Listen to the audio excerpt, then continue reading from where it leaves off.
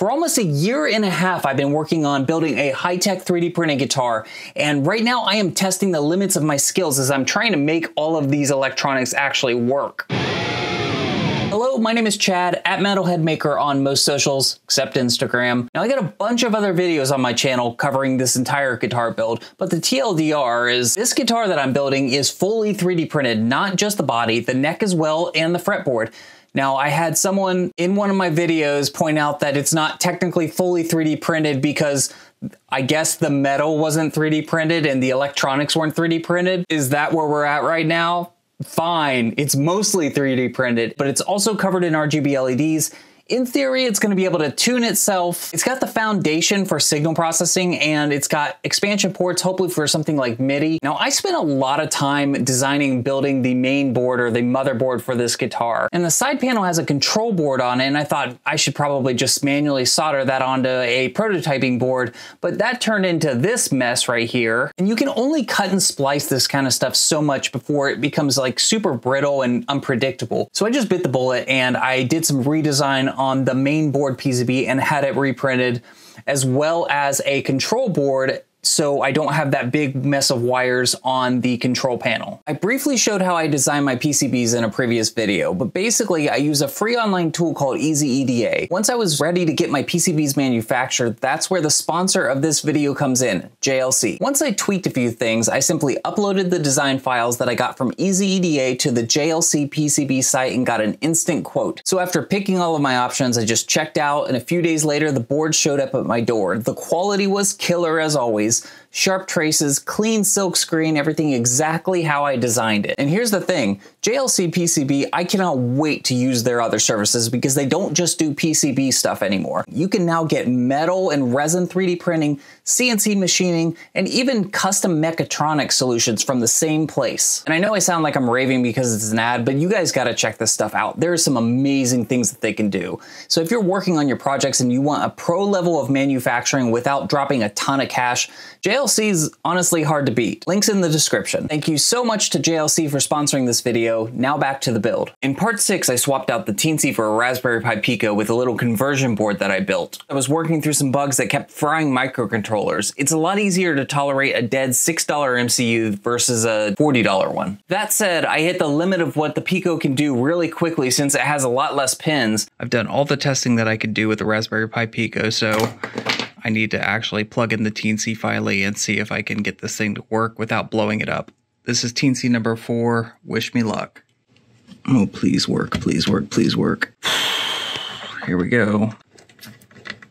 Ah, uh, look at that. Now maybe I can actually make some progress. So before I started to assemble that new control panel PCB, I wanted to make sure that all the buttons and the encoder and the screen worked how I wanted and that came with some problems. The screen I have here is an upgrade from the previous screen that I was working with, so I had to do a little bit of rerouting. That means actually physically cutting the traces using a knife, and that creates a bit of a mess on its own, but then I had to also reroute power. Originally, I was pushing 5 volts on purpose from the main board's power rail to the control panel because technically those are 5 volt components that can run at 3.3 volts. That is a problem because the microcontroller that I use the Teensy 4.1 is only 3.3 volt tolerant, which means that I would send 5 volts out to the control panel and everything would work fine. But as soon as I hit a button or sent some kind of signal back to the Teensy to tell it to do something, so to prevent another dead microcontroller, I rewired it to 3.3 volts. The controls work just fine. The screen, it took me about two days to get it to work, and even then it was a little iffy. My only theory is that the traces that I cut and rerouted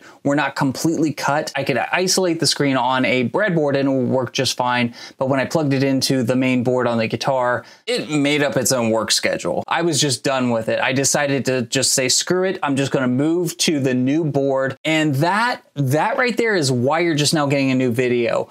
I wasn't planning on building up that new main board until like the end of the project. I was not looking forward to this, so I procrastinated by knocking out the new control panel PCB first. And this went okay, aside from a small bug that I found on all three buttons, so I had to do a splice for each one of them. By the way, I do live streams occasionally where I actually build some of this stuff, and in this case, I did build the, the control panel PCB on live stream. So if you want to go check that out, you can just go over to my channel and watch almost that entire assembly process. Okay, there's just no getting around it. I got to get this main board done. There are a lot of pads here and I have manually soldered this entire board once before. I don't want to do that again. Thankfully, I have a stencil for this PCB, which has all the holes for the pads cut out in the right spot, and it's made out of metal. You just stick it right over top of the PCB, and as long as you're really careful, you can drag over some solder paste, and bam. Look how clean that is. To back up a little bit though, that doesn't make it any easier to source and organize all the parts to put on this board. So I have to spend about a day digging through all of my parts and putting together everything on a big piece of tape, which helps me keep track of all those little teeny tiny pieces. So once I applied that solder using the stencil, I can now just pick and place all of those little parts super quick. The one problem that I did run into was that I have a heat plate is not big enough for the PCB. I was able to make it work by just doing half at a time, but I'm telling you, I'm a child when it comes to this stuff. I could watch solder reflow all day. You know, this is an area where I could spend a ton of time talking about all the intricacies of the components and the process but I've got a live stream on this uh, particular build as well. So if you want to really dive a little deeper into this, you can go watch that live stream on my channel. But if you do, come back here right after that because we're not done yet. Killing my own retention time. At this point, I did everything that I could think of to test and make sure that the board was stable and at least pushing power in the way that it should. So when I connected the Teensy to the board, it didn't fry it again. But there was one thing that I didn't anticipate. So if you look at this board here, this is just an example board, you'll see that there is this little part where I had to break it off because you basically have this big long strip and you just cut it where you need it when you're using these headers. So I ended up putting it on like this. You'll see we're misaligned. Can't be that big of a deal, right? Yes, it is. It's a very big deal. I have enough dead teensies at this moment to start my own teeny tiny teens to start my own teeny tiny teensy graveyard. you laugh or you cry. and I've already done both. Okay, um, it didn't completely fry it, I should say. Some pins worked, some pins didn't. You know what? Actually, I've got it right here.